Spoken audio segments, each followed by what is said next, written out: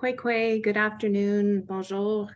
Um, welcome, Apsalaji, to the Federalism Structures and Relationships with Indigenous Peoples discussion. Delawisi Danielle White, Wadapegzi Nujokonik Uktahamgok. My name is Danielle White. I come from Mi'kma'ki territory on the west coast of Newfoundland. I'm a member of the Qalipu Mi'kmaq First Nation, and I am the, uh, I will be your moderator for today. I'm the Assistant Deputy Minister, Strategic Policy and Partnerships at Indigenous Services Canada. And I'm joining you today from beautiful unceded Algonquin territory where I now live and work. We have a very exciting event planned for you this afternoon. And just before we proceed, I wanted to mention a couple of housekeeping items. To optimize your viewing experience, we recommend disconnecting from your VPN or use a personal device to watch the session. Nous avons aussi la traduction simultanée en français. Um, ces services sont disponibles par uh, le, le, web, l'audio diffusion uh, sur le webcast. So we have French uh, simultaneous translation in French, um, and you can access that service through the webcast. Uh, you can refer to the reminder email for the details on how to access, uh, access this option. So now, uh, before we begin, I would like to welcome uh, Algonquin Anishinaabe Knowledge Keeper, Monique Manatch, uh, to start us off in a good way and open today's event with a prayer. Monique, Stavu. Miigwech and Pajashik, welcome. Welcome to unceded, unsurrendered Algonquin territory. Monique Manatch and Dejnakas, Kitikanik and My name is Monique Manatch and I'm a member of the Algonquins of Barriere Lake. And, um, and so I'd like to uh, open this space in a, in a good way to help bring our minds together, to help uh, to create a, a safe space where we can speak from our hearts um, where we can speak our truth and our honesty, uh, a space where we can share and learn from each other. And I'll do that with a few words to the Creator. Thank you.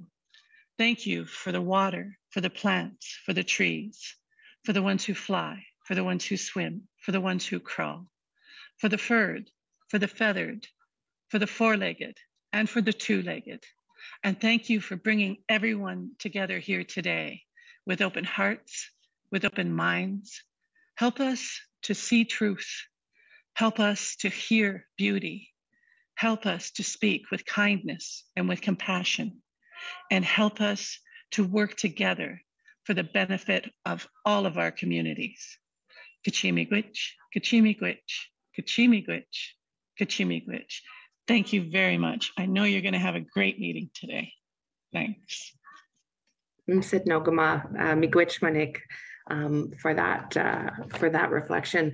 Uh, I'd now like to welcome uh, Jiyun Han to get us uh, started and to provide an overview of the topic for discussion today. Thank you, Danielle. Thank you for joining us, everyone. My name is Jiyun Han, and I am a research associate at the Institute for Research on Public Policy Center of Excellence on the Canadian Federation. This event is the fourth in a series created through a partnership between the school and the Center on Contemporary Issues in Canadian Federalism. I'll just say a few words to introduce today's discussion, connecting it to the themes presented in the first three events, and then we'll pass it back over to Danielle. Let me start by acknowledging that the land from which I'm talking to you is the unceded traditional territory of the Kanien'kehá:ka. I recognize that we all work in different places and therefore you work on a different traditional indigenous territory. Please take a moment to consider the original peoples of the land you are on. Thank you. So far in the series, we have held three events. We've covered several foundational issues in federalism, including why federalism matters, fiscal federalism, and the role of federalism in economic development and infrastructure.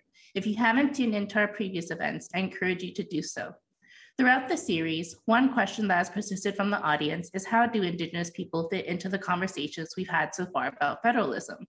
This question touches upon a theme we've been exploring in the background of several of our events so far, a new vision of federalism that is not limited to just the federal and provincial governments as the main actors in our governance structure, but one that includes a wider network of actors that better reflects governance in Canada, including and amongst the most important Indigenous people. Today, we will hear from our speakers on their observation on, on how Indigenous people interact with the current landscape of federalism structures. Now for the main event, I'll pass it back over to our moderator, Danielle.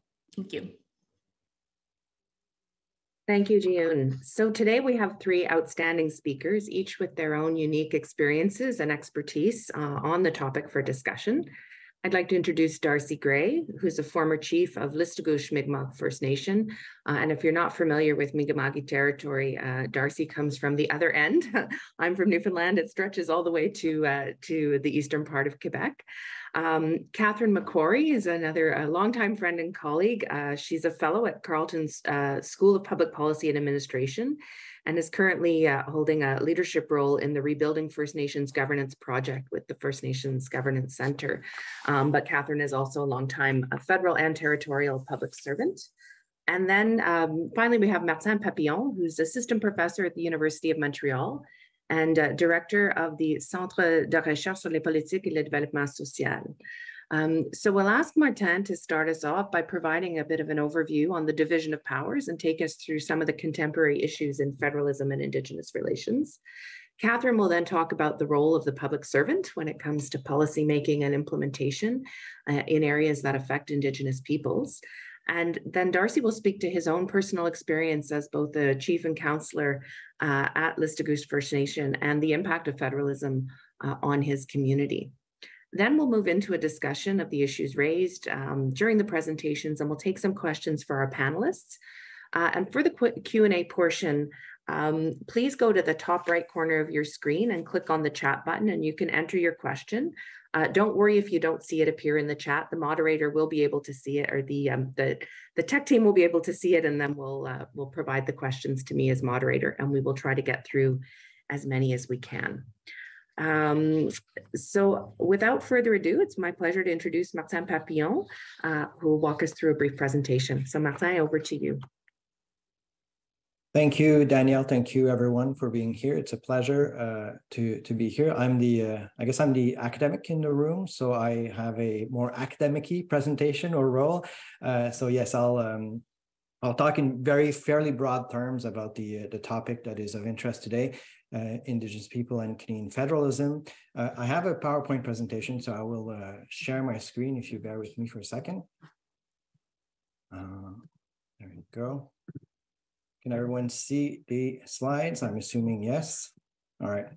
So um, uh, just to get us started, the picture you're seeing there is uh, it was taken at uh, Mushuau-nipi. Mushuau-nipi is a, along the George River in northern Quebec, along the Labrador borders boundaries, and it's um, uh, it's traditional territory of the Innu people. And I'm uh, I'm grateful to the Innu people who invited me to this uh, sacred site uh, last summer, and I've uh, certainly learned a lot from that uh, that that moment. So I wanted to put that picture there to um, to acknowledge that. So um, my um,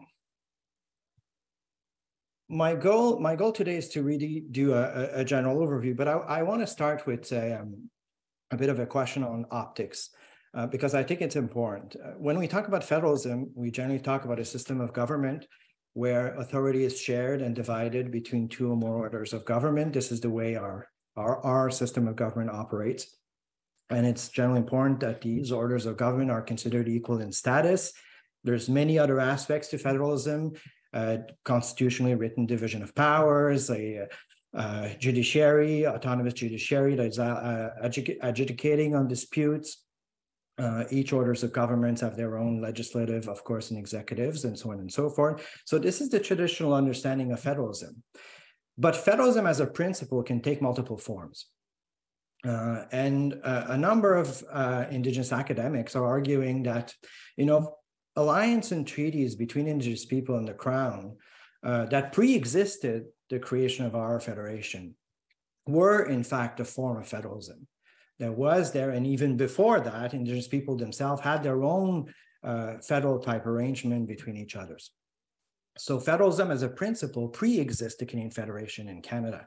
Uh, and that that principle is still very much driving and i don't want to speak on behalf of all indigenous people of course but when I, in, as part of my research, when I talk to indigenous leaders and indigenous intellectuals and, and ordinary citizens, uh, especially in the context of, of treaties, uh, that notion of a nation to nation relationship or a, a, partnership between equals is extremely important still today. In fact, it's a driving force of the way these relations uh, ought to be organized, according to many. So I wanted to say that because uh, we tend to ask ourselves how we see the challenge as a challenge of fitting Indigenous governments and Indigenous people into the Canadian Federation. But I think this is wrong.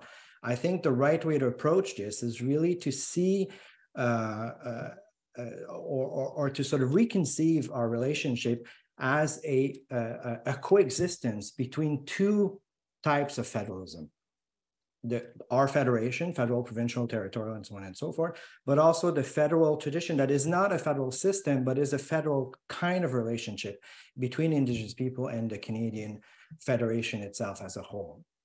And looking at it this way helps us, I think, put into perspective both uh, the division of powers in the Canadian Federation, the role of federal provincial governments, the difficulties in, in, in, in creating the space for recognizing Indigenous governments, but also the, the, the sort of potential path forward. So uh, let me jump right into it because I don't have a lot of time.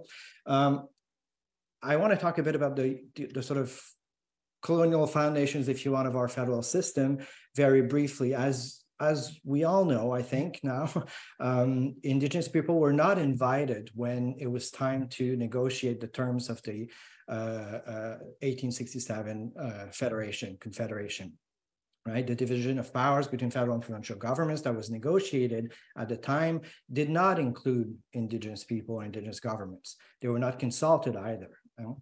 And so, uh, but of course, they are part of the federal system in a sense that they have become a head of jurisdiction under Section 9124, a head of jurisdiction of the federal government. Uh, that unilateral decision under which indigenous people were never really consulted uh, does nonetheless create a unique relationship between the federal authority and indigenous people.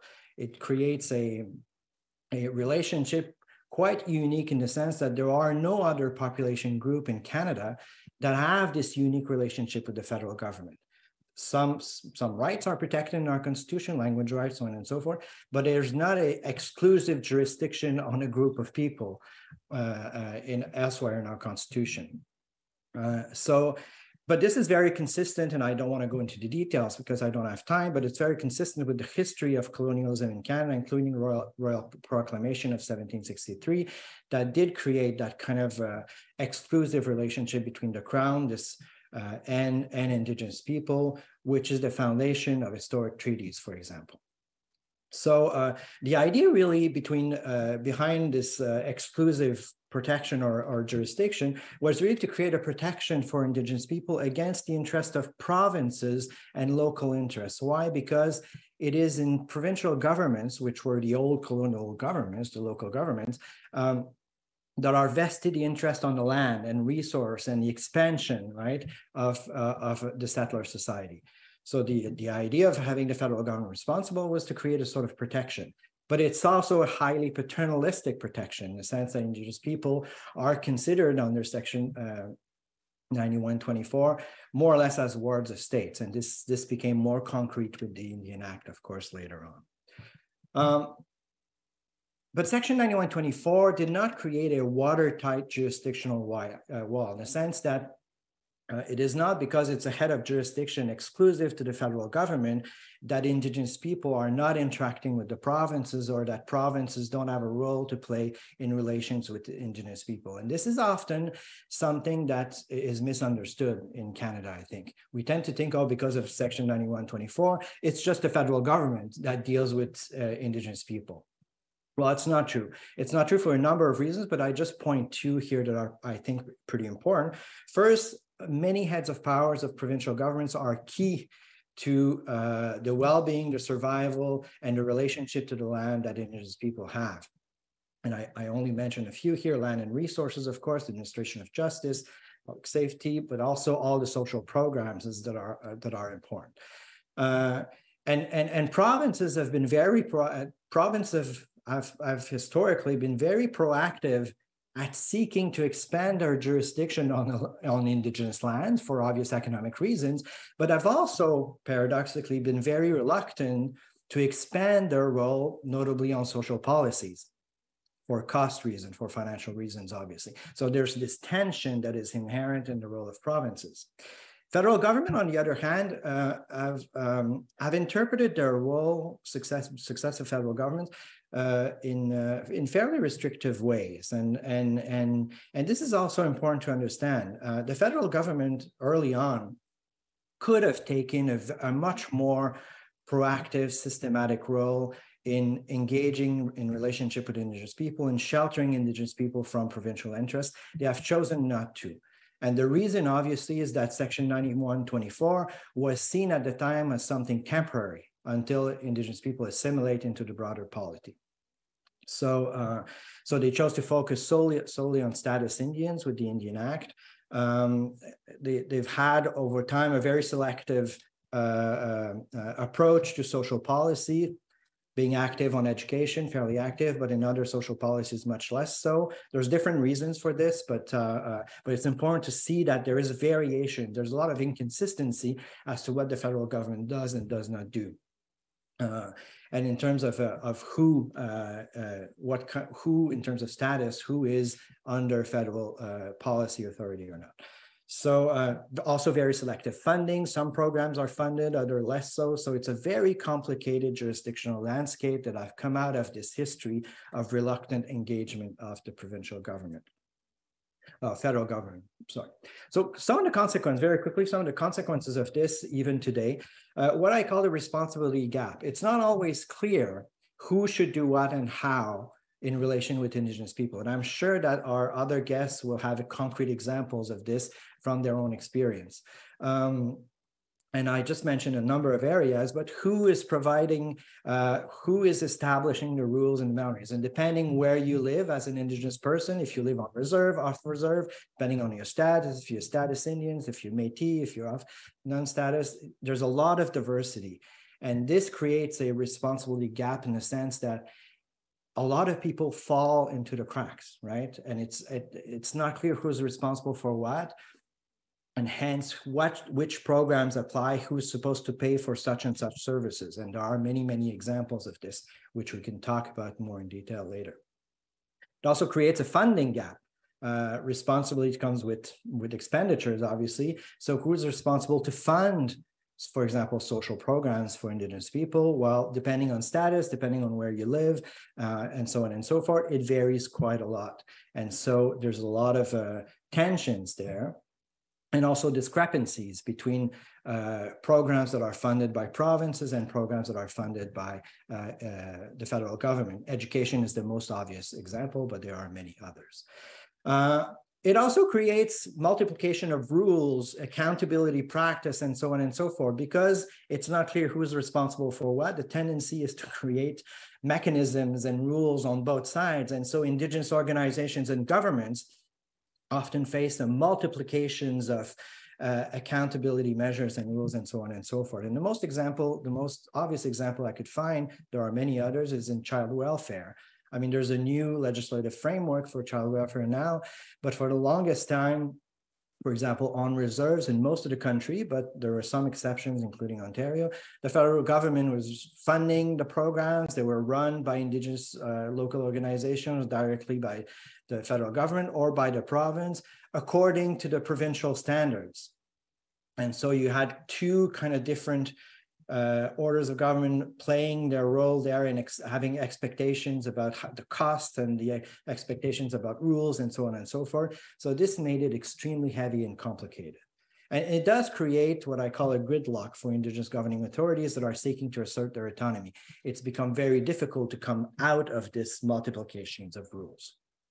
Uh, so looking forward, looking today, I think the challenge is really one of uh, properly acknowledging and recognizing our uh, the coexistence of multiple federal forms that I stated at the beginning, but more concretely also to disentangle this jurisdictional web to create space for indigenous people to assert their own authority uh, uh, uh on their communities and lands.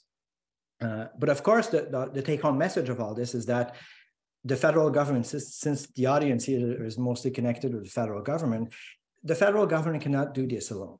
And, and, and so it's not just federal policies that matters. And this is really important. Of course, Indigenous people matter. You can't do that without their collaboration and their initiative. But it's also important that provinces and territories uh, be part of that change, be part of that story. And this is this is a part that is often missing. Uh, I've underscored the importance of provinces and territories, well, the territories less, uh, in that story. And, and really, changes will only come if we pay attention to this reality that it's not a bilateral thing, despite what we would like. Sometimes it is really more uh, complex than this. I just want to, to conclude with a, a, couple recent developments that I think are relevant to think about this disentanglement uh, and, and think about this, the, the reconstruction of these relationships. Uh, first, the timing is, is right right now. It's important uh, because conceptually and, and also discursively, but also just in terms of the reception of the broader society to these issues has never been greater. And the, the Truth and Reconciliation Commission has played a really important role in this uh, the developments related to the United Nations declarations on the rights of indigenous people is also are also important. It's a really fundamental document that pr propose a con well, not a concrete, but a set of principle of standards um, uh, that uh, to to reconcile our our, uh, our our, our Canadian Federation with with with indigenous governments. And these, these really, these ideas, these norms, these standards, these principles are really permeating everywhere in the Canadian society now. And so the awareness is much greater, which creates political momentum. And, and really should not lose that momentum because it's important right now.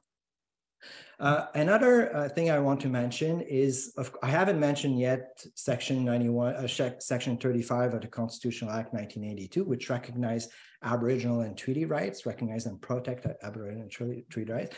This, of course, had a really important impact also on federal provincial dynamics. I just want to in, insist on the, the impact it's had on provinces because it's really important. And it's because Section 35 rights, uh, provinces are also uh, uh, bound by, uh, by Section 35, so they have to uphold uh, Aboriginal and treaty rights, but they also are responsible for what has emerged as a really important part of this, which is the duty to consult, the obligation for governments to consult Indigenous people when they're infringing or possibly infringing their rights. And the duty to consult has become a massive thing. There's massive amounts of consultations. Many in the audience are aware of that, probably. Uh, it's a big thing, and it's not always done right. It's not always well done, but it's important because what it does for provinces and territories, I should add, is really to force these governments to engage concretely with indigenous communities on the ground and develop partnerships, collaboration mechanisms to ensure that this consultation takes place. And so this is really changing the landscape. It forces the provincial governments to really develop their capacity in engaging more systematically and more institutionally with Indigenous people in a way, especially on reserves, in a way that uh, they were not before. And I'm just giving you a graph here. Uh, I, I, I did not put too much, too much data here, but this is just one that I find really striking. It's the number of indigenous provincial agreements per year over the year in the past, well, since 1995. And as you can see, there's a massive growth somewhere in the early 2000s. And this is really connected to the Supreme Court jurisprudence on the duty to consult and and the, the growth is really more prominent in one province in particular british columbia why? Because in the early 2000s british columbia did a 180 degree turn in their approach to indigenous policy and really embraced this agenda of negotiating agreements with indigenous people to formalize to institutionalize the relationship. Uh, some say it works well, some say it works less well, but uh, uh, but it's a very striking and important development, and it really uh, uh it really brings to fore the point that I was making that provinces and territories are important partners now in that reconfiguration of the relationship. Very quickly, a couple other developments that I find really important. The, uh, this is not new, but it, it's, it's, it's present and we have to mention it. Of course, modern treaties and self-government agreements, especially in northern territories, but not exclusively. There's some in Labrador and Quebec, in, in British Columbia as well.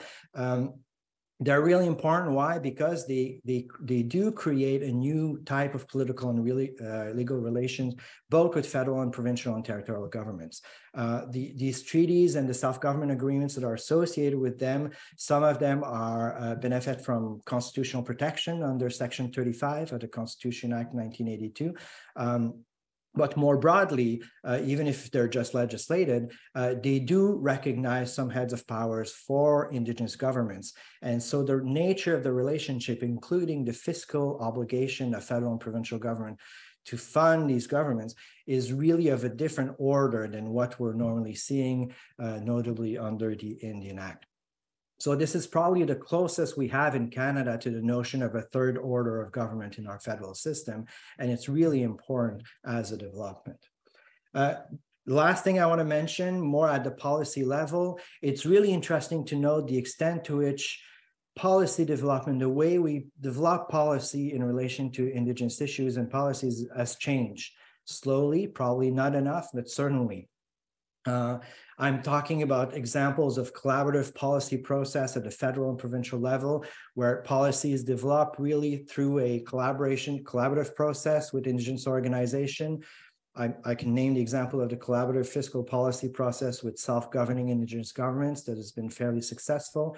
Um, Another interesting way or approach with this is tripartite agreements, federal and territorial and provincial, federal uh, and indigenous, sorry, governments. So tripartite model of policy development. I can mention the tripartite agreement on health in British Columbia as a, as a good example.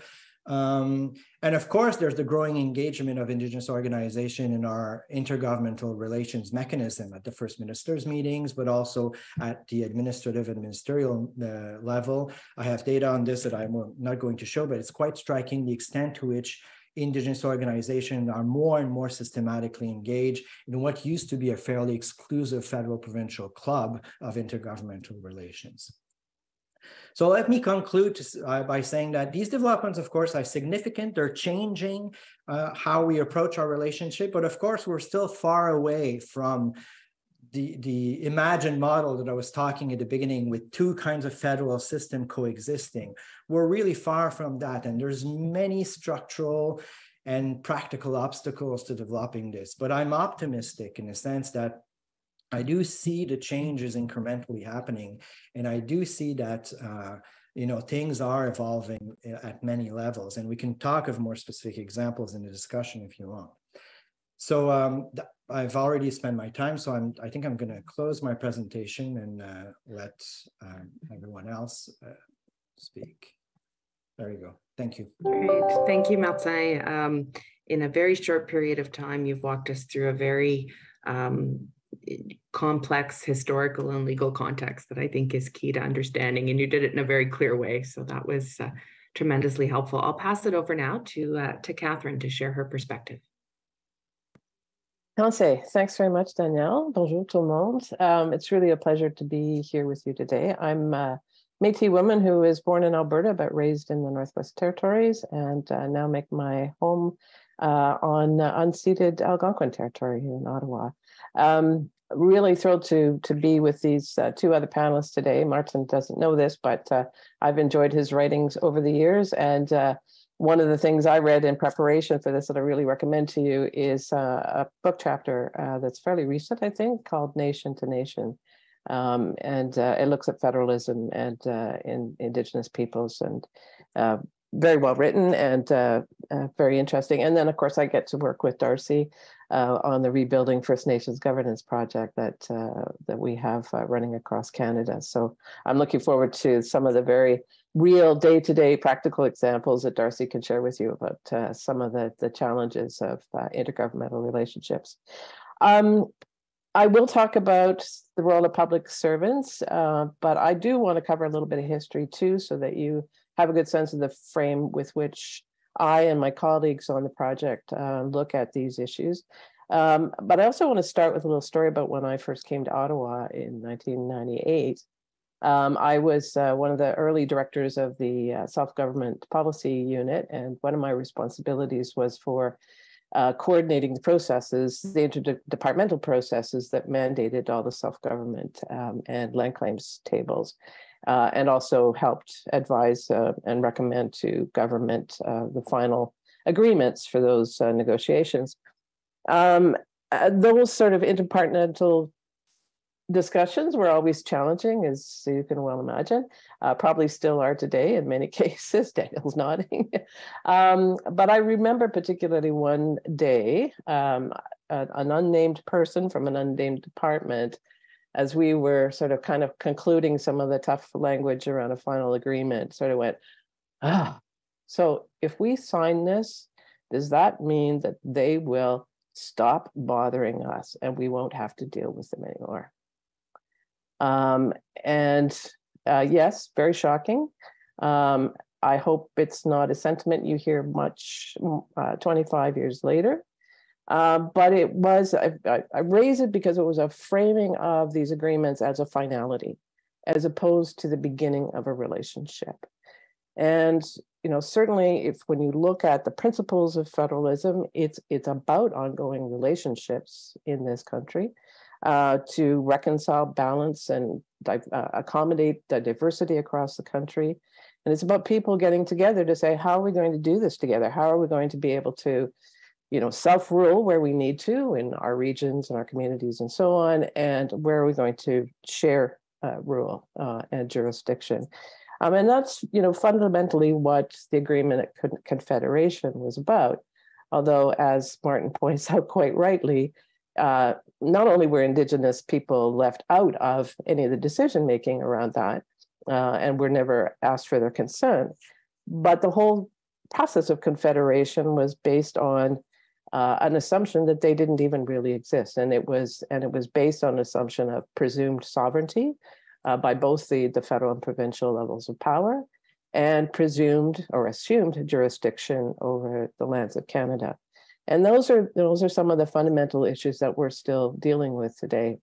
But I actually want to go back even farther because Martin mentioned this at the very beginning of his talk, and that is that for Indigenous people in this country, starting with the First Nations in, in Mi'kmaq territory, who would have dealt with some of the first newcomers, there has been a continuing process of trying to uh, uh, arrange those relationships, to talk about self rule and shared rule um, through peace and friendship treaties.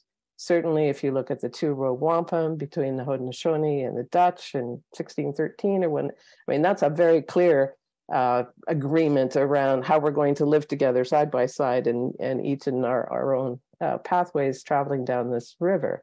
Um, I think it could even be argued that, uh, well, and I do argue it strongly as a Métis person, that uh, the um, the resistance in Red River and then uh, about a decade later in Saskatchewan uh, were really about the people, and and in that case they were majority Métis people, but they're First Nations and and others who were trying to negotiate their way into Confederation. They had been left out of the table.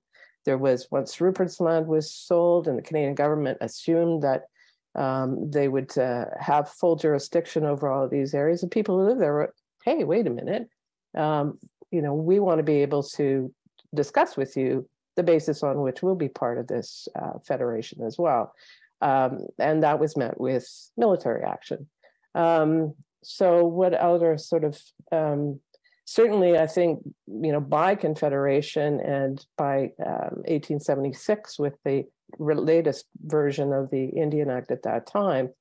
Uh, that was the that was where they went from the presumed sovereignty and jurisdiction to actually actively trying to suppress any residual remaining rights that Indigenous people thought they might have uh, on their territories.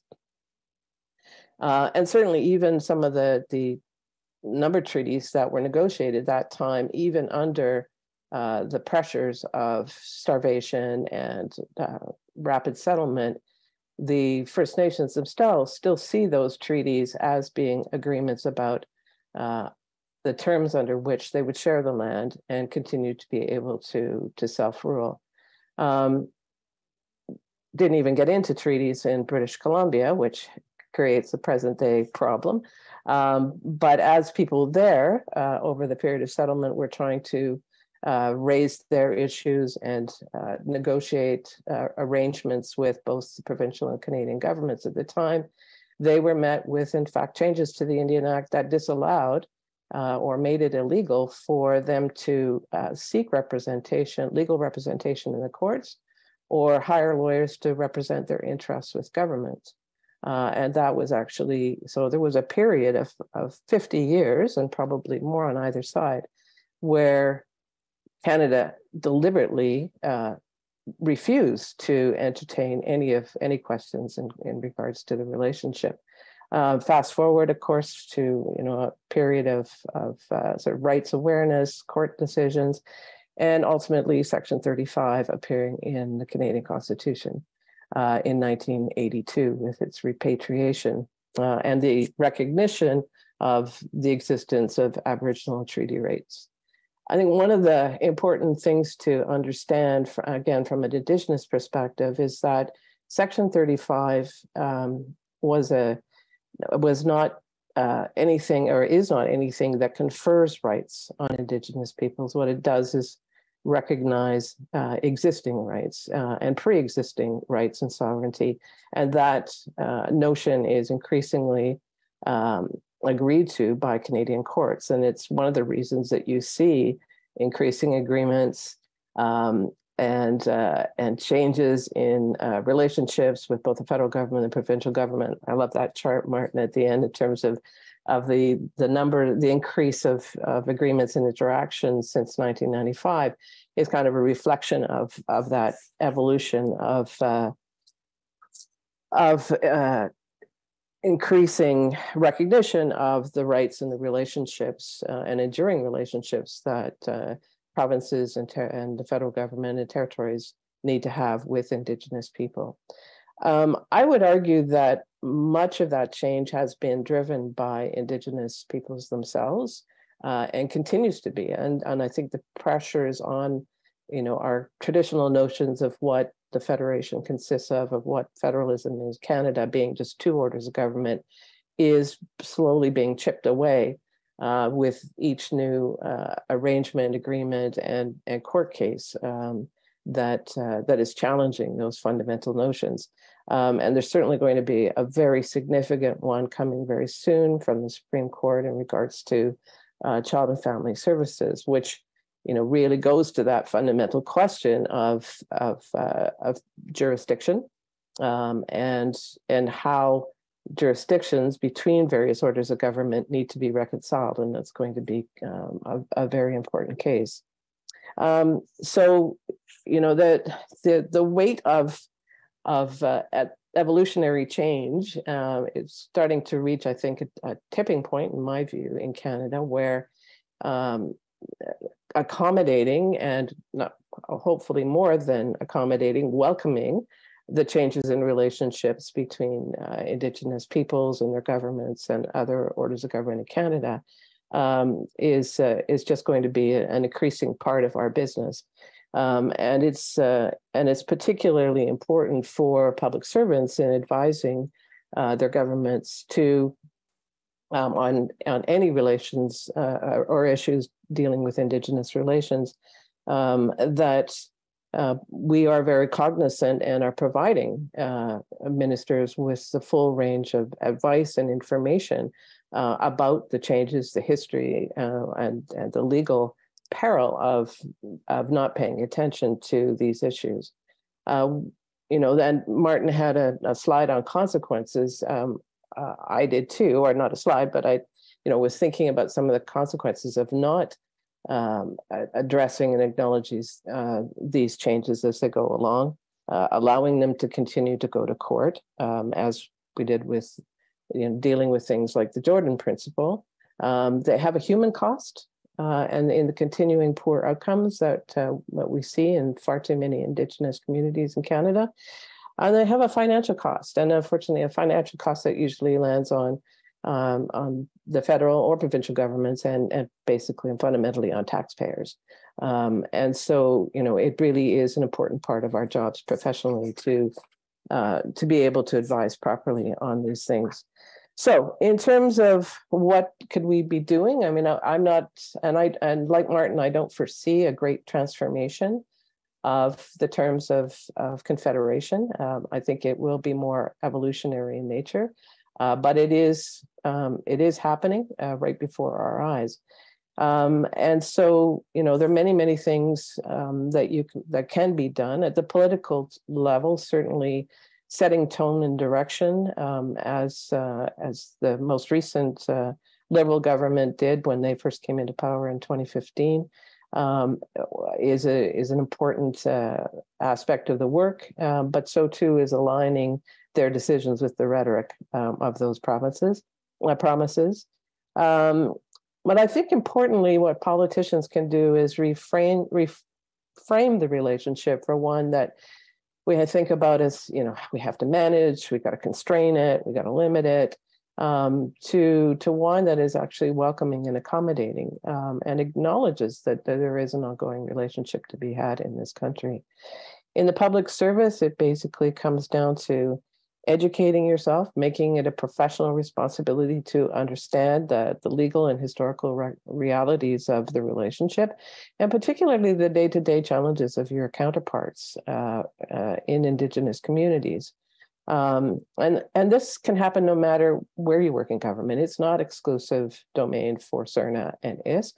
Um, Indigenous issues touch on every aspect of government business. Um, and if you don't realize that, then uh, you need to find out what you don't know, because uh, I can guarantee you it does almost everything you do. Um, and just as you would consider what provincial or territorial concerns or issues might be in some of the work that you're working on, you really do also know, need to know where your department's mandate and activities might intersect with uh, or rub up against Indigenous rights and interests uh, and plan for it accordingly. And I think Darcy will be able to give you some examples of things that you might not have thought of uh, that really did create some big challenges for him and his community in some recent policy changes.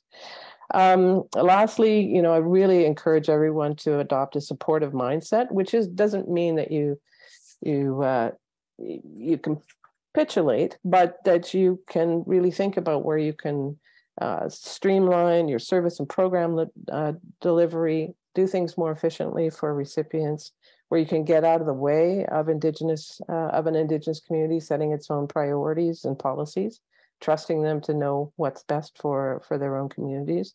Um, if you're even just looking at funding models, what what's going to work best to support local priorities or need or their capacity needs, and put accountability in the right places. Um, and Martin already touched on uh, some of the uh, some of the results of administrative burden that that come when you don't do that. Um, but lastly, I would encourage everyone to be excited for where these changes might take us, not not afraid of them, um, because they really are a reflection of who we say we are as a country. And I'll just close with um, our the Royal Commission on Aboriginal Peoples uh, more than 20 years ago said this is how they closed their report. And they said Canada is a test case for a grand notion, the notion that dissimilar uh, peoples can share lands, resources, power, and dreams while respecting and sustaining their differences. The story of Canada is the story of many such peoples trying and failing and trying again to live together in peace and harmony. Thanks. Thank you, Catherine. That was uh, that was wonderful. Um, so Darcy, I'll turn it to you to have the last word on the panel. Uh, and to perhaps give us a sense of, of how some of this uh, translates in very practical terms from the perspective of a, of a First Nations chief. So over to you. Um, thank you, uh, Walalin, um, Danielle. Um, first off, uh, Waldazi Don Delium uh. I'm, very happy to be here with you today. Um, WBC Darcy Gray, Lewi, Akwigi, Listuguj. Uh, so my name is Darcy Gray. I'm from and, and I live in Listuguj, and uh, I also have to say, um, you know, uh, Walalin uh, Monique for Ukchit uh, uh, Sudamagan. Thank you for the opening prayer and the good thoughts to get us started in a good way. Um, so um, I, I, feel like the two speakers did a fantastic job of, of setting me up to try to close this in a good way. Uh, but also, I don't know how I'm going to do that in 15 minutes. um, it's it's very hard to know exactly what to share uh, and, and what to cover in, in these types of situations. Uh, myself, I worked as chief uh, for six and a half years uh, in our community. Uh, prior to that, I worked in education. Uh, I worked as a guidance counselor, primarily supporting our, our students to be, you know, encouraging their success in, in high school. And um, so I guess um, looking at some of the examples or some of the, the concepts that were shared, um, I need to give some context. So Listuguj is, uh, as Danielle had said, the, the westernmost uh, Mi'kmaq community.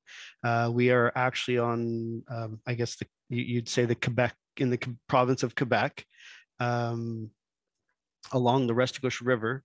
Uh, and on the other side of the Restigouche River is the province of New Brunswick.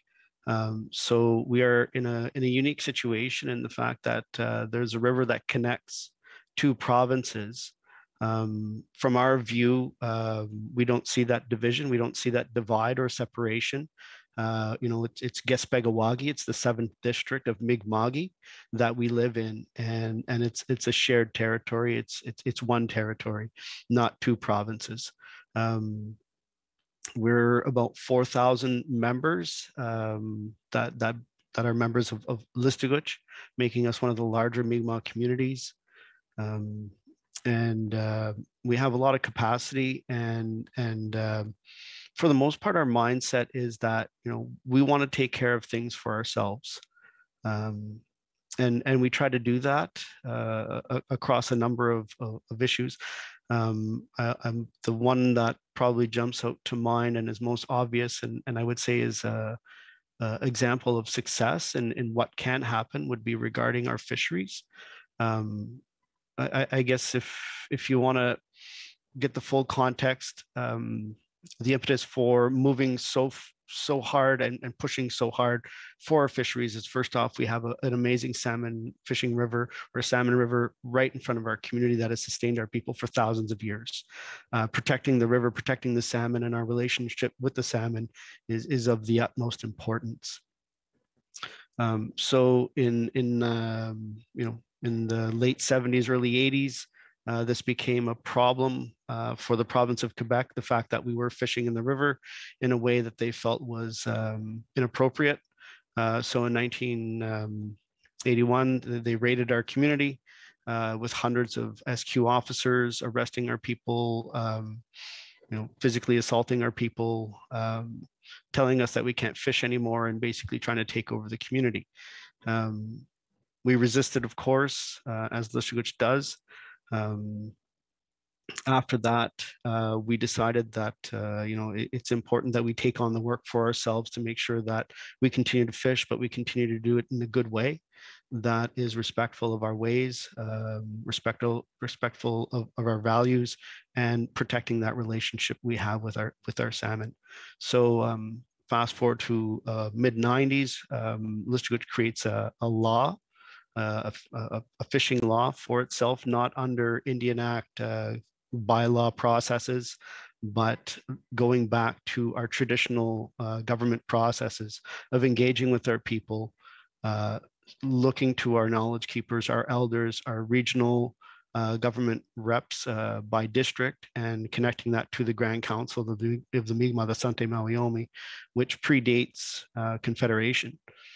Um, so in doing so, we we we reassumed or or took on the responsibility of managing the river and managing our relationship with that salmon, imp- uh, implementing management regimes that uh, respect conservation and ensure that uh, we're respectful of the relationship we have with our salmon, but we're also able to feed our people and do things in a good way.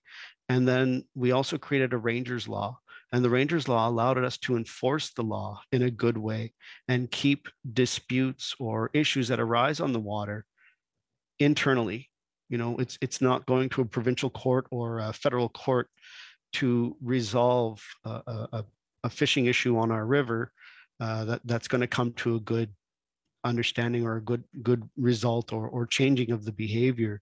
Um, you know, it's it, it's it was important that we take that on for ourselves and we do that and you know since then uh, nobody has ever been charged for illegal fishing on our river and we won an award uh, for one of the best or the best managed river uh, in Quebec. So obviously our people are doing good things in a good way, um, you know, building off of those traditions. Um, jump forward to um, during my administration, we were fortunate enough to to be able to push that even further into the lobster law um, and look at how do we apply some of the concepts that have been talked about today. Um, you know, okay, and and and I, I I guess it's important how we got to that lobster law was by community conversation, not consulting the community, but engaging the community on a very high level over a two year span. It was about getting to the heart of the matter of okay, if you were to wipe away, you know, Fisheries Act, um, you know, provincial legislation or, or imposition of any of these, these rules and regulatory regimes, how would we as Mi'kmaq of Listuguj want to go about fishing? What would be important to us? And from those conversations, we were able to shape the values and principles that guide our law. We got Ankodamuk, which is taking care of something in a careful manner. Abajiginwin, sharing and giving back. Get Me Minich, which is about respect. Respect not just for ourselves, but respect for the lobster, respect for any species that we're, we're fishing. And Wealth that we agree in thought. So these became the guiding principles for our law. They became how we interpret and look at our fishing activity and efforts. Our rangers were asked to not only um, monitor the fishing on the river, but the lobster fishing is out in the Baie des Chaleurs, uh, Chaleur Bay, which is a little down down down the way for us, a little out towards the the sea. Um, so it required um, additional skill sets. It, it, it, required there was there was safety regulations. There was other things that we had to do. We didn't ignore those we took those on, took that on that responsibility to make sure that the Rangers had the skills, the knowledge, um, and and the tools that they needed to be able to do this in a good and safe way. All the while, we're negotiating with Canada on how we can implement coinciding sort of jurisdiction or or regulatory regimes.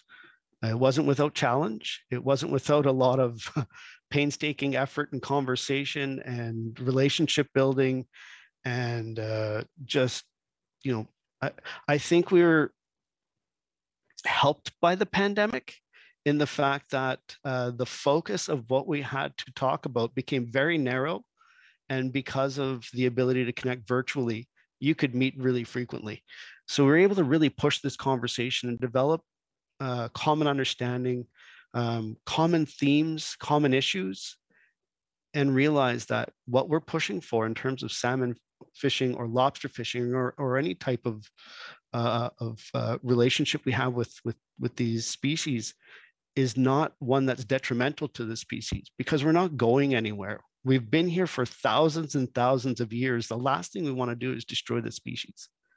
We want to preserve and protect. The measures we're going to put in place are going to have that as the as as the most top priority. As an example, when our lobster fishermen come back from their fishing efforts, we have dockside monitoring. We have people literally counting the number of lobster that are caught. 10% of those lobster go straight back to the community to feed our elders, to feed those in need, to feed families. These are things that we are able to put in our law because they were important for our law. You won't find that in the Fisheries Act, but you find that in our law. And I don't think that that's a bad thing. But through the ongoing conversation, the ongoing relationship that was built with the people we were speaking with at the time, we're able to come to that common understanding and get to a point where, okay, you know the minister signs off and says yes let's let's let's give this a shot but it doesn't stop there right we've been able to put into into place committees bodies that meet regularly to talk about what's the next step. It's not static, it's not stagnant. It has to continue to evolve. We have to continue to grow our, our, our effort and, our, and, um, and, and I guess not just the, the, the effort around fishing, but the effort to ensure that things are done in a good way.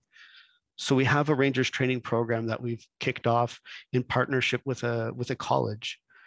But it's not the college that just comes in and delivers the course we have a, a, a, committee in the community that reviews the content of that course and ensures that it meets the standard of what we need for Listuguj.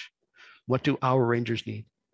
Not just learning about Quebec law or, or federal law, but Mi'kmaq law, Mi'kmaq values.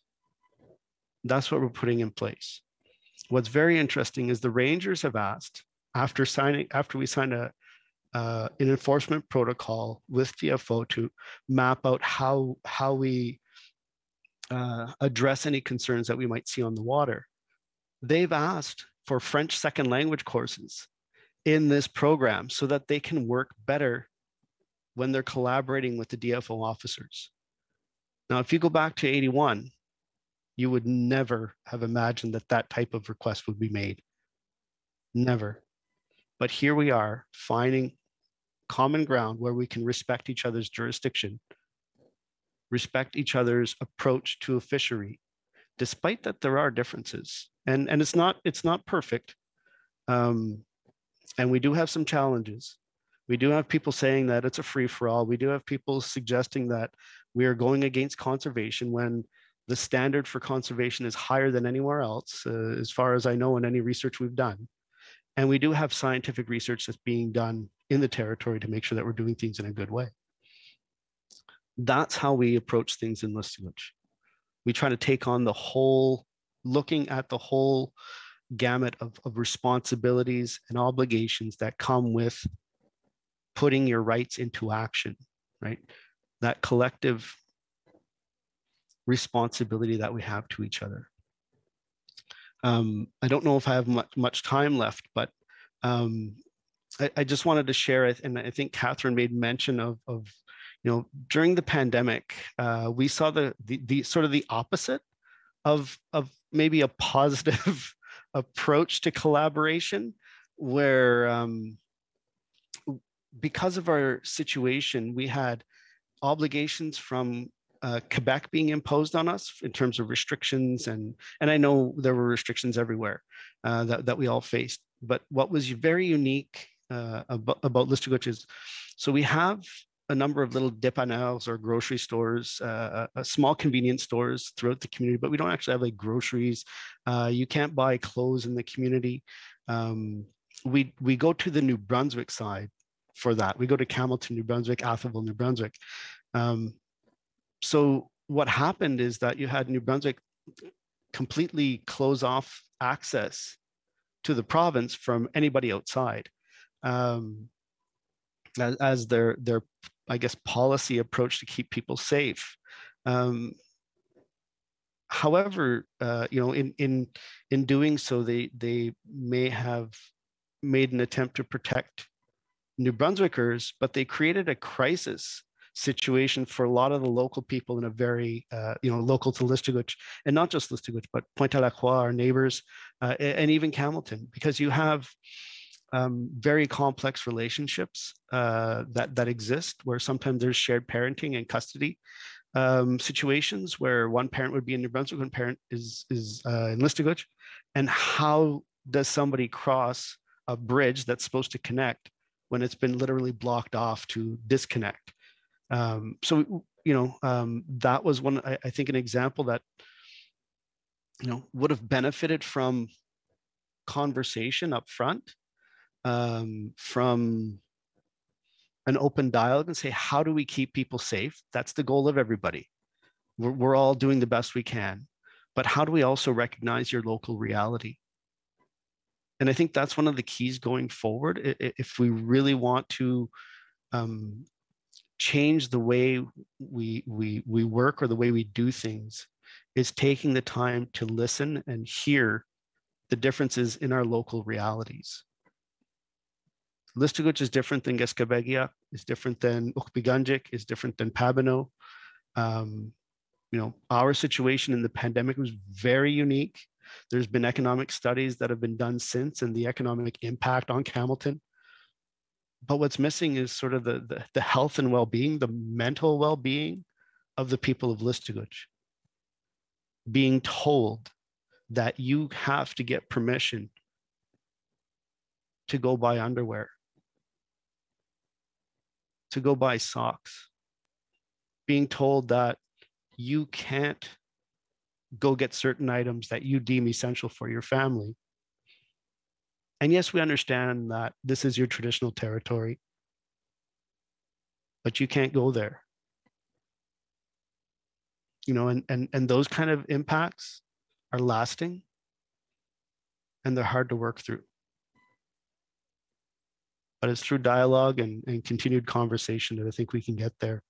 And uh, I imagine I'm done my time, but uh, thank you very much. And um, let's get to the questions. Okay. Thank you, Darcy. That's actually perfect. We are right on time at 2.30, so you're on the nose. um, so I would encourage folks, we've got a couple of questions in the chat, but not a lot. Um, so if there are questions for the panel, please, um, please provide them. Um, maybe to kick it off, I, I have a question um, you know, we've talked about both the potential for for federalism to help solve um, problems, but also posing some challenges in in relationships, and particularly around the intersection between the federal system and Indigenous self government. Um, and I know perhaps I'll maybe start with Catherine on this question, given your experience in the Northwest Territories, where there are quite a few self governing First Nations as well as some non self governing First Nations. Um, you know how how do self-governing nations um, you know align align their efforts uh, with with this this notion of federal territorial relations and and how what does that look like in practice because i think there's some really interesting models uh, emerging in the north that uh, can be instructive for those of us uh, south of 60 Sure. Uh, well, yes, there are emerging models, but uh, you know, I think it's important to say that um, you know some of the self-government agreements are you know are going back to you know being at least fifteen, almost twenty years old, and it's um, it, they have not been implemented faithfully by uh, federal or provincial or territorial counterparts. Um, and that has actually been a problem. It goes back to my my early story. A lot of people on the the in the federal and provincial or territorial governments figures you get it signed and then it's done and you don't have to deal with people anymore so um, you know what northwest territories is actually unique i think just because of of uh, you know the demographics and the structure of the population it's you know more than 50 percent indigenous. Um, there are many indigenous communities. Um, even Yellowknife, um, as a majority white community, still has uh, very large indigenous populations. The territorial government um, uh, representation um, is, uh, I believe, now uh, majority indigenous in terms of elected uh, officials. Has had uh, indigenous premiers for at least the last two or three rounds uh, and more often. So you have you you have a an, an openness to the relationship that's just kind of baked into the system.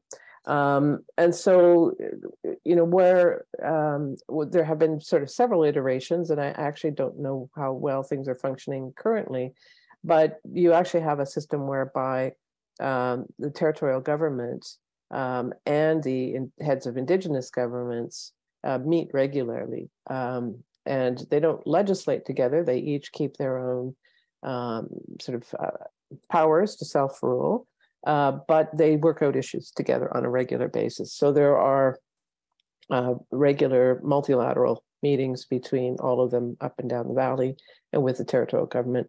The territorial government also uh, and the Legislative Assembly has taken a different approach to creating legislation and actually starts um, not with a draft, but in uh, engagement with the indigenous governments in terms of, and, and this is a relatively new uh, thing that they've, they've been doing as well. And I should know which piece of legislation it was most recently done with, but it was, you know, it's turning out to be a successful model. So things actually come into the legislature that have already been developed to a certain extent with the other Indigenous governments.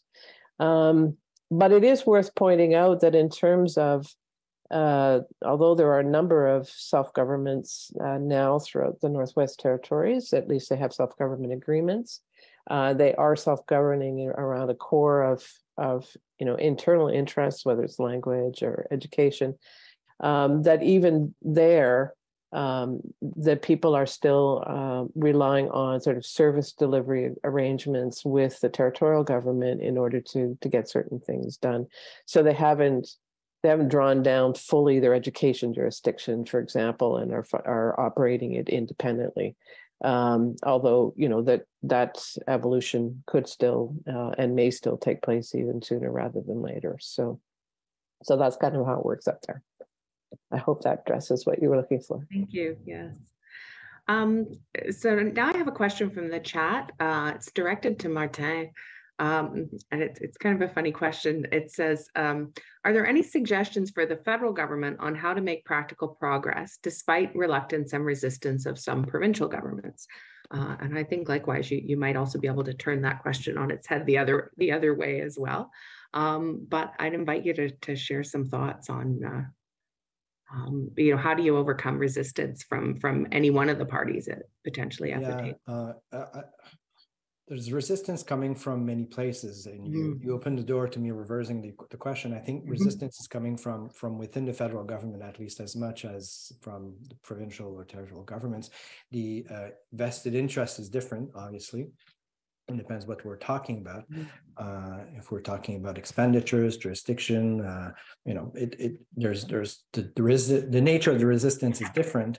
And uh, Darcy talked about concrete examples where it was possible to negotiate agreements based on uh, uh, an assertion of authority uh, and lawmaking authority from the Mi'kmaq. Um, it's a great example where you know for the for for the federal uh, fisheries, this this has impact, but the impact is perhaps less uh, less less complicated or complex than in other cases. Say, for example, where a um, uh, an indigenous people would assert jurisdiction on on mining or you know forestry uh, that have much greater implications and directly impact uh, provincial um, provincial economic interest in a much more concrete way. So it really varies uh, on, on a case by case basis. So I, I just want to I'm going to use this question to talk a bit because um, uh, Catherine mentioned the important uh, court decisions, Supreme Court decision that's going to come on um,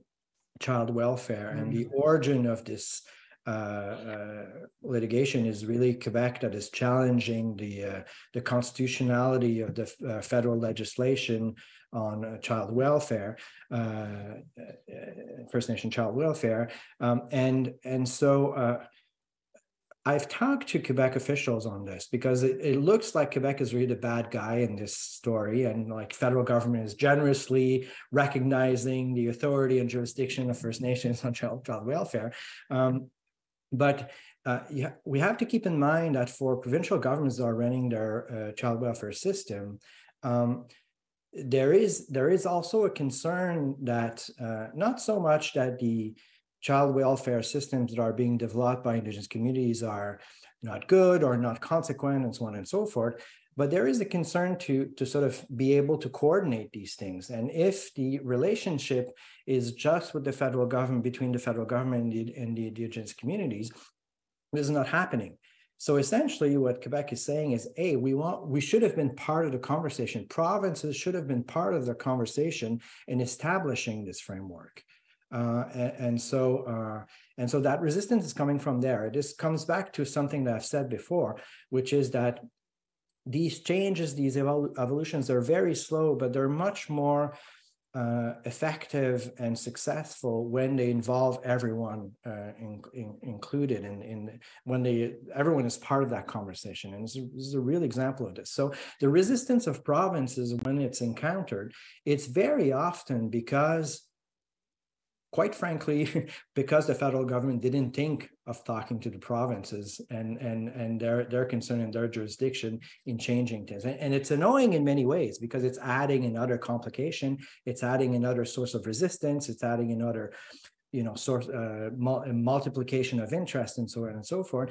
And uh, First Nation and other Indigenous organizations and governments that are engaged with the federal government changing things are not very keen on this because it further complicates things. But in the long term, from the number of cases that I've looked at, uh, it actually ends up working better. And, you know, when the province is involved or the territory is involved in these in these in these changes. So it can be double bilateral. It could be federal. Uh, you know, the, the, example of the Northern Territories with the treaties is a good one. There's there's bilateral relation with the with the federal government, obviously, but also with the, the with the territorial government. But there are other models where it's more tripartite, and um, and these tend to be also uh, probably uh, more conducive to reducing conflicts or uh, avoiding uh, uh, litigation the way we're, we're seeing now. Thank you. Uh, so I have another question. I'm gonna I'm gonna turn to Darcy for this one, and it's it's a bit of a two part question. I'm I'm cheating a little bit and combining some questions, um, but the question from the chat is from a community member's perspective. Do you think the provinces are more open to consultation with First Nations than the federal government? Uh, so that's part one. Um, and then uh, the part two, uh, you know, you talked about the fisheries issues. What do you think is the next big issue, um, intergovernmental issue that, that your community will face?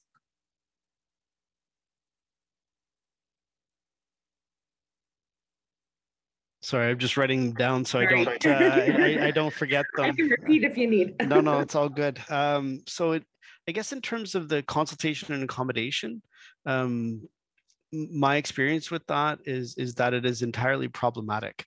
Um, it, it, I think it's ineffective and and leads to more issues than it does uh, resolving issues. Um, we're consulted on everything, which is, I suppose, good, but at the same time, we are communities with limited capacity.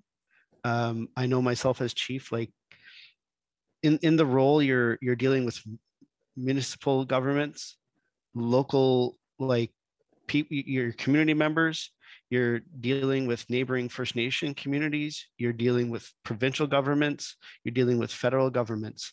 Day-to-day operational issues, and then trying to plan and move ahead and and deal with all these things plus some time for your family and then you get consultations you know can we put a culvert here can we add a road there? Can we you know and and and they're they're just kind of just a steady stream of of of of information. And it almost seems like there's no differentiation between say a mine and a culvert.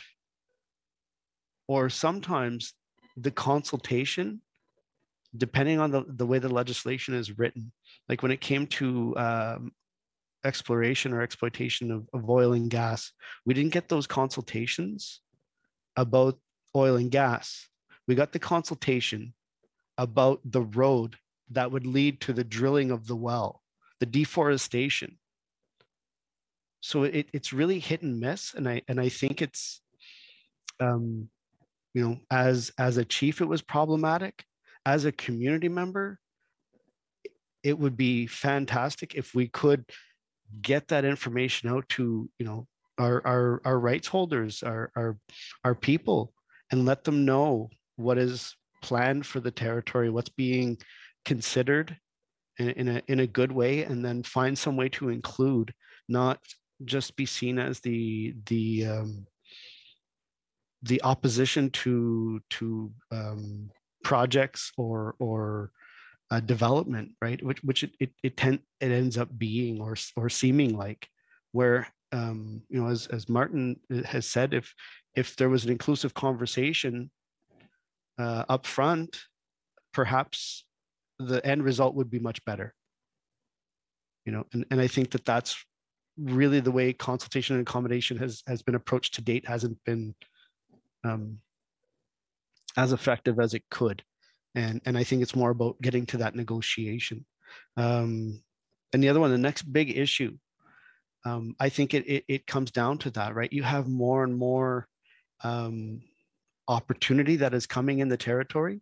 You have, um, I would say, in a good way, more and more of these proponents and and um, potential partners coming to meet with your community, coming to engage in those conversations. But if you don't have the capacity to take up those conversations or get involved in a, me- a meaningful way, then the way forward is, is, is going to be difficult. And a lot of times in our communities, we don't have um, the experts on standby, just waiting to take up this, you know, uh, the potential mega project or as well as deal with the you know the, the, the potential issue you might have with the culvert. So it's it's it's really a, a capacity issue i think uh, coming up with these these major opportunities that are coming. Thank you. And any thoughts on kind of the next big issue that's in front of you? Well to me that that's it right? Is it's it's that um, there are going to be big opportunities, big issues coming, um, big projects. Um, if let's say a proponent does come and say, we want you to be part of this, mm-hmm. not every community has the capacity to respond like that. Yeah. In fact, a lot of us don't, you know, we, we, we don't. Um, you, you have to build that up. Mm-hmm. mm-hmm. And then, and to get that meaningful engagement, and, and that takes time. Mm-hmm. So I, I, to me, that that that's the way I see it is really a capacity issue and to, to, to be meaningful, meaningfully involved mm-hmm. in, in what's going on. Thanks. Danielle, can I just yeah, jump in on sure. this one? Because I, this is something I saw when I was most recently with the government of the Northwest Territories. And it was actually a, a federal issue because I know people within the federal government have been doing a lot of thinking about, well, and also been told, don't forget about the duty to consult, et cetera. But what what I saw was, and this goes back to my point about, you know, be thoughtful about what the heck you're doing, uh, you know, with Indigenous partners or to Indigenous partners, because what I saw was um, out of fear and and worry that they weren't consulting enough. Um, when all of the infrastructure funds were going into communities into the Northwest Territories, there was a really high bar set by the uh, the, the funders for consultation and accommodation discussions at the like the most significant level with pro- with project proponents, most of whom were themselves indigenous communities. And so the territorial government was going, we don't need to do all this consultation and you know accommodation under under the duty to consult because it's indigenous proponents. Um, and unfortunately, it was, and in the communities themselves are going, what the heck? Um, but unfortunately, we could not at that time, I hope it's changed since, mm-hmm. uh, convince uh, the folks within the federal public service that, you know, to back down a bit. And, you know, and then it goes to what Darcy's talking about is you're consulting people on, you know, on things and stripping the capacity of them to actually be paying attention to the bigger things. Mm-hmm. So think about that. Thanks.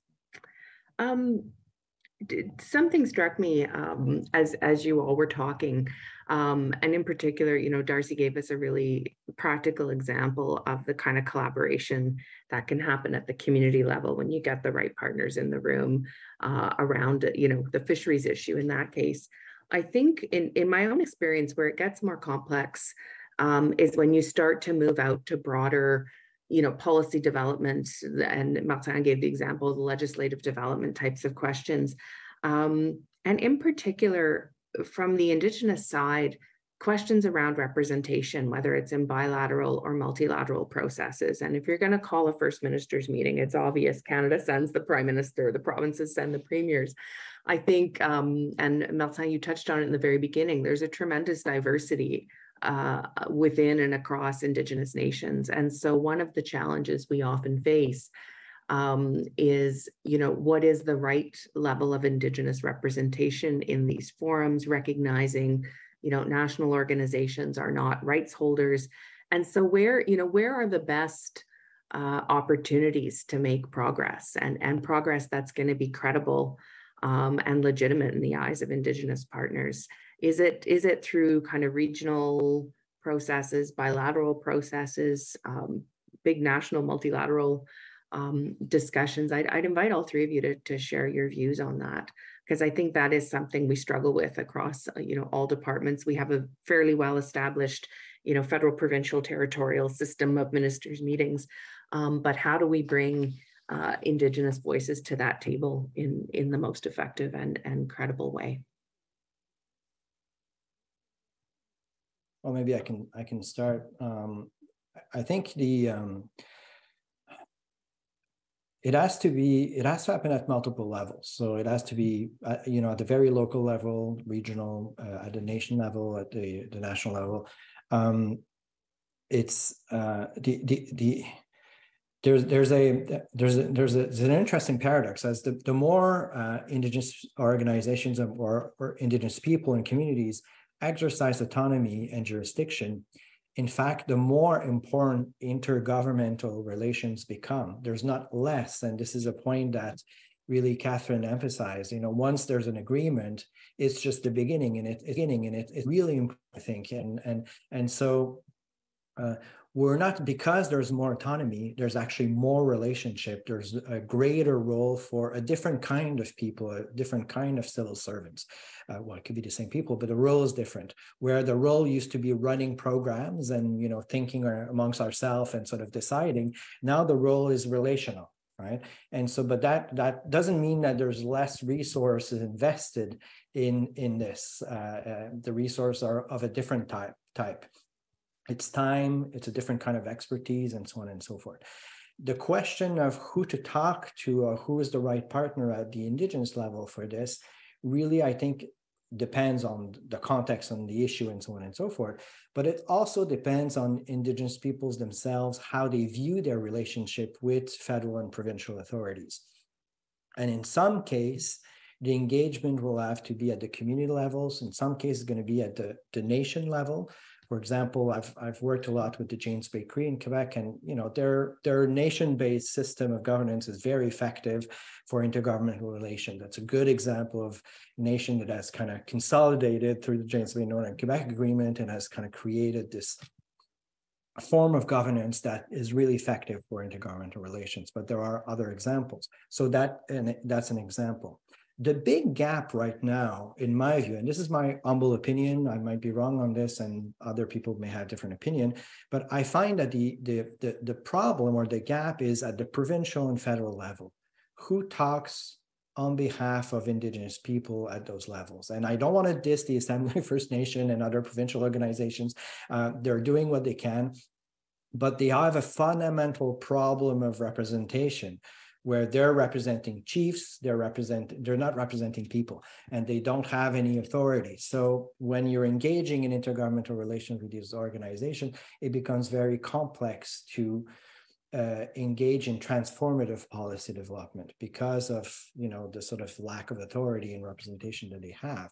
There's ways around this but there's also alternative models that could be interesting to consider. I'm not saying that canada should do that but for example, having what uh, Scandinavian countries have, which is an indigenous parliament. Now, it's much more complex in Canada because you know there's a diversity of indigenous people in Scandinavian countries. It's only Sami, but um, but that model, that idea of having a legislative body that is elected by indigenous people at the federal or provincial level uh, is one example, for example, where it's much clearer who you're talking to and the legitimacy of that body is much stronger again, there's a whole bunch of problems with that kind of model for Canada, but that, that is to say that the existing model right now with those organizations is not the only one that's possible. And uh, but really, it's not up to the federal government and provincial government to decide that. It's really up to Indigenous people themselves to decide how they want to interact with those uh, with with Canadian federalism. Thank you. Uh, any other thoughts on that question, Catherine or Darcy? Well, I have a couple, but I'd like Darcy to go first because uh, he has lived this every day. Absolutely. Yeah, I, I, think the first, first and most important thing is that uh, you know it, it, can't be an imposed uh, approach, and I think in some of the um, some of the negotiations that we we had engaged in, or some of the processes that we engaged in, that was the the preferred um, method, right? Is so you've got uh, the three Mi'kmaq communities in the Quebec region that who who's your spokesperson? Who's your one person that represents all three? And uh, if we're going to sign an agreement, it's with all three of you together. So who's signing that agreement? But internally, between the three communities, we've never engaged in that process and we've never given that authority as the three chiefs and certainly not as community members or or Mi'kmaq people right? So so so nobody has that authority um, and and we have to respect the autonomy of each community.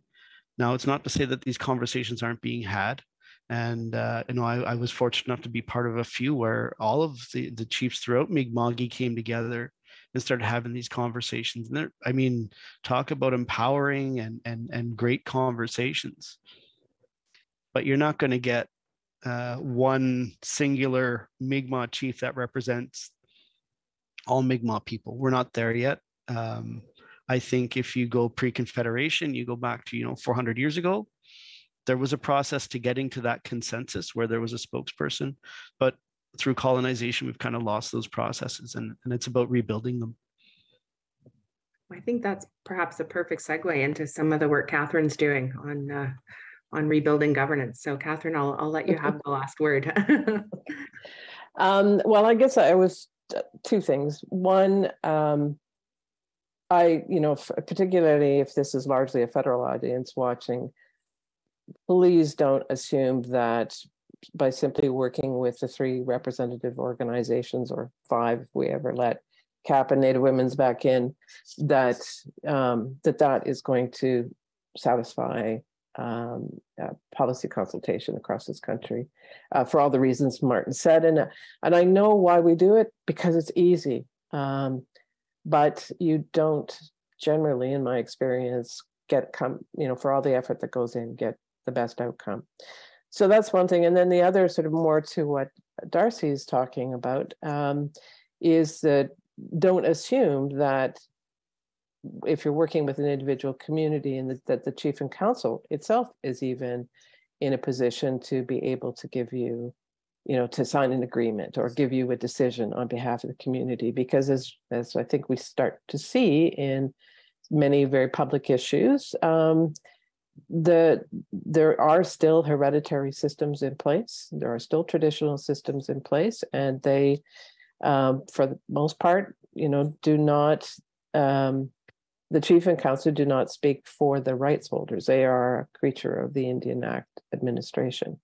Uh, so you need to be really aware of who has been given the authority and power to to speak on behalf. And and as Darcy said, you know, it, if you find that frustrating, um, you know, you have only the Indian Act to thank for the current situation. Um, we've spent 150 years in this country and more dividing all of these people into tiny little reserves and communities and setting them aside, um, you can't blame them for uh, not suddenly coming together again as nations. Um, and so that's going to take time. It's going to take lots of conversations. And so some of the work that we're doing, uh, we actually have acknowledged that we've got to start at a community level. Um, that's probably the, the you know the place to start. And as people develop confidence again in their systems, in their governments, um, that those nations will eventually be rebuilt. But um, that's, I think, in most parts of the country, still a ways off. Great. Thank you very much. Uh, so we're almost at the end of our time here. So I just wanted to take a moment to thank all three of you for joining us today. Uh, it was a very uh, you know, informative, engaging discussion. I know I, I, work in this space, intergovernmental relations is part of my responsibility, um, but uh, I know I definitely uh, learned from from all three of you, and it's it's it caused me to reflect on on some of the work we're doing. Um, you know, from public servants taking a you know needing to take that long term view of the relationship. Um, you know, recognizing the complexity i think is you know uh, darcy pointed out the unintended consequences sometimes of federal and provincial policy decisions. And we saw a lot of that during COVID for sure, um, including in, in some of the areas I work in. Um, and you know the, the, the really important questions around governance and capacity uh, and consultation and the importance of you know recognizing um, you know the priorities of communities and nations and it's not just about what a federal or a provincial government has a an obligation to consult on that we need to seek that broader alignment around around priorities uh, and how we approach things is often as important as, as the substance itself. Um, I've been advised that Monique has not been able to reconnect uh, to do a closing prayer, which is really too bad, because um, I know she would have sent us all off uh, in a good way. So I will I will uh, bring it to a close here. I would just remind um, participants to complete the evaluation forms. Um, that the uh, the evaluation, the feedback is very important in in terms of informing uh, the way forward. Uh, lots more events on the horizon from the Canada School around as part of the Indigenous Learning Series. And um, I would really thank you all again for joining us. Uh, merci beaucoup. Um, thank you and, uh, and be well. Thanks, Danielle. Bye-bye. Thank you. Thank you, everyone. Bye. Bye. No more talks.